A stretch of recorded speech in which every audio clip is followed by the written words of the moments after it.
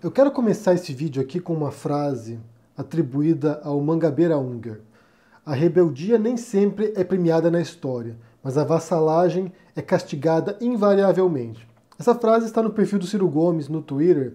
Eu tentei buscar a referência de onde está isso aqui, não consegui encontrar, mas é uma frase bastante verdadeira, porque ainda mais quando se fala de política internacional, o que a gente observa na história da humanidade, das grandes potências, dos grandes países, dos países desenvolvidos, é que geralmente um país chega numa posição de poderio internacional não é se curvando aos demais. Muitas vezes através de exploração colonial, muitas vezes através de guerras, muitas vezes através do exercício de poderio bélico e econômico sobre países que se curvam à influência desses países. Ninguém diz que política internacional é brincadeira de criança. Na verdade, você tem um jogo bastante sujo em algumas circunstâncias.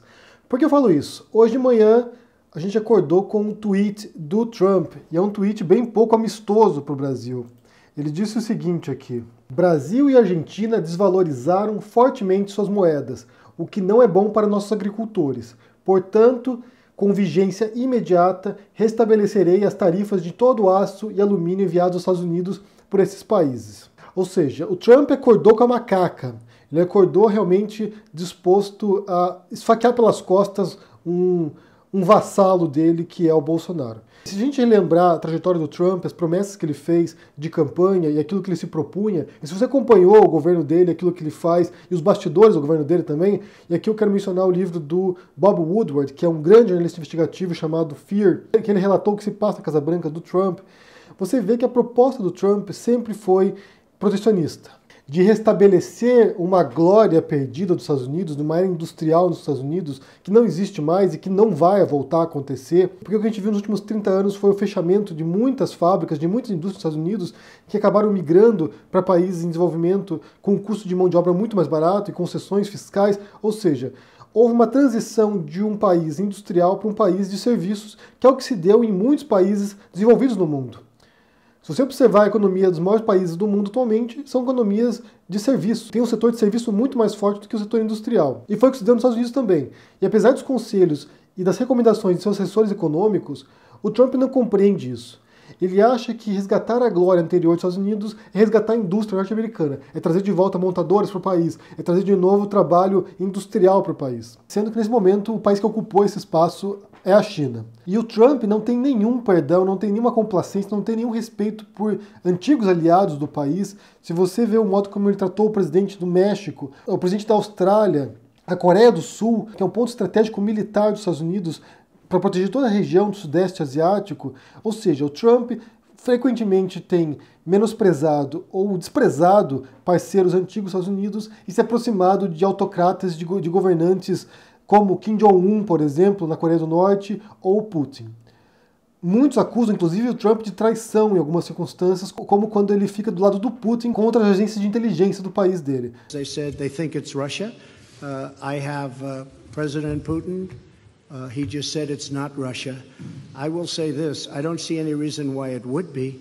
I will tell you that President Putin was extremely strong and powerful in his denial today. Então a intenção do Trump é clara: ele não tem amigos, ele tem servos, ele tem pessoas, políticos e governos que se curvam diante dele, ou ele tem aliados táticos, que seria o Putin, por exemplo, nesse momento. Bolsonaro é um dos vassalos do Trump.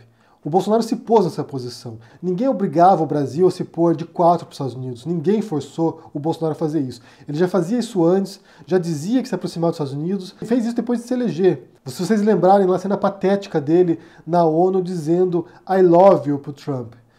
Ou seja, é alguém que se pôs realmente nessa posição, numa posição de inferioridade, de subserviência, e que agora está sendo espezinhado pelo Trump. A resposta do Bolsonaro foi a seguinte quando perguntado sobre isso. O Trump, o Trump, o Trump, ele anunciou, o Trump anunciou há pouco. Tá, vai vou falar com o Paulo Guedes hoje, alumínio. Isso, vou falar com o Paulo Guedes agora, tá? O senhor pretende conversar Vou com conversar com o Paulo Guedes. Se for o caso, pro Trump. Eu tenho, eu tenho o canal aberto com ele. O senhor acha que dá pra, dá pra voltar isso? Converso com o Paulo Guedes, depois eu dou a resposta, pô. Pra não ter que recuar, tá ok? Segundo o Bolsonaro, ele tem um canal aberto com o Trump. Sabe-se lá o que isso quer dizer. Eu não imagino que o Trump, sendo o manipulador que ele é, o empresário manipulador, o empresário com perfil de psicopata, que ele vá ter algum tipo de piedade com o Bolsonaro. Se ele quiser realmente dar uma lição para o Brasil, para o Bolsonaro, ele fará isso, porque ele comprou uma guerra comercial com a China, uma guerra tarifária com a China, porque ele não faria com o Brasil, que é um país que está em posição muito inferior aos Estados Unidos nesse sentido. Inclusive, as exportações de alumínio do Brasil, que é sobre o qual o Trump quer impor tarifas, é o maior produto de exportação manufaturado do Brasil. E os Estados Unidos é o maior comprador do alumínio do Brasil. O que o Trump fez nesse momento, usando uma falsa alegação de que o Brasil estaria desvalorizando o real em relação ao dólar para ter algum tipo de benefício a partir disso, que é uma falsidade, é de castigar o Brasil, é de castigar o Bolsonaro e de humilhar mundialmente o Bolsonaro, como se já não fosse uma humilhação internacional há muito tempo. Do mesmo modo que o Trump humilhou o presidente da Ucrânia, o Zelensky, quando ele vai lá e põe o presidente ucraniano em saia justa para que ele investigasse o filho de Joe Biden e suas ligações com a principal empresa de gás do país. O Trump usa os seus vassalos, os serviçais, a seu favor. Seja para benefício próprio, seja para benefício do país, mas geralmente benefício próprio, para consolidar o seu poder, sua influência e mostrar quem é que manda. Tanto que essa manipulação do processo político em benefício próprio é o que está levando o impeachment do Trump agora. O processo de impeachment que vai começar quarta-feira agora na Câmara dos Deputados lá. Eu quero ler algumas reações para vocês aqui que estão se dando na internet. Uma delas é da Júlia Duailib, que é comentarista de política e economia da Globo News. Ela diz o seguinte aqui: Brasil aumentou a cota de importação de etanol dos Estados Unidos. Não conseguiu derrubar a barreira à venda de carne in natura para os americanos. Também viu postergado pleito para entrar na OCDE. Agora vê Trump anunciar tarifas alegando a desvalorização do real frente ao dólar. O professor de Relações Internacionais Carlos Gustavo Pódio comentou o seguinte: Não me lembro de uma humilhação pública dessas dimensões na história da política externa brasileira. E obviamente você também teve o gado passando pano para o Bolsonaro. Muitos foram defender essa humilhação pública, o que é inacreditável. Se você olhar aqui a resposta do Marco 54, o dólar está pouca coisa acima do que já estava. É ano eleitoral nos Estados Unidos pode ser combinado e temporário. E o outro aqui, o Tyler. O governo brasileiro pode desvincular o real do dólar? Podemos lastrear nossa moeda ao nióbio, já que temos 90% desse minério importantíssimo? E o Oscar disse o seguinte: se estamos assustando a maior economia do mundo, é sinal de que estamos evoluindo bem. Gente, é inacreditável, é inacreditável. É uma vergonha mundial mesmo, e você tem lá os bolsonaristas desesperados para explicar isso, desesperados para tentar encontrar uma coisa positiva. No Trump humilhando o Brasil, humilhando o Bolsonaro, querendo impor tarifas agora, a importação de alumínio do Brasil. Da Argentina também vale mencionar. Agora a gente vai ter que esperar para ver, primeiro, se o canal do Bolsonaro, né, o canal do Bolsonaro funciona bem, se ele vai conseguir convencer o Trump a, a não fazer isso. E também vale ouvir a resposta aqui do Mourão, o vice-presidente, que deu hoje, logo em seguida também, ao saber disso. Escutem aqui o que o Mourão diz sobre isso.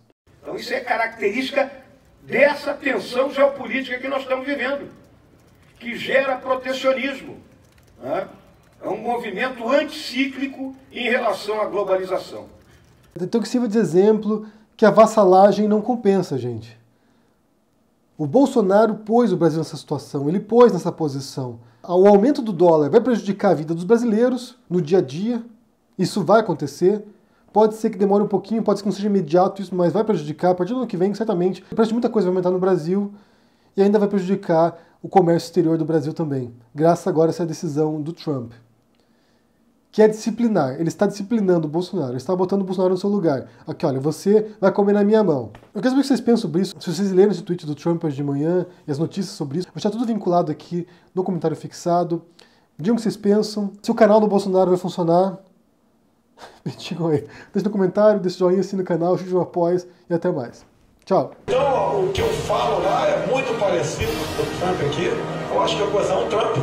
Se eu chegar lá, pode ter certeza que ele terá um grande aliado lá no Hemisfério Sul. A minha continência, a bandeira americana.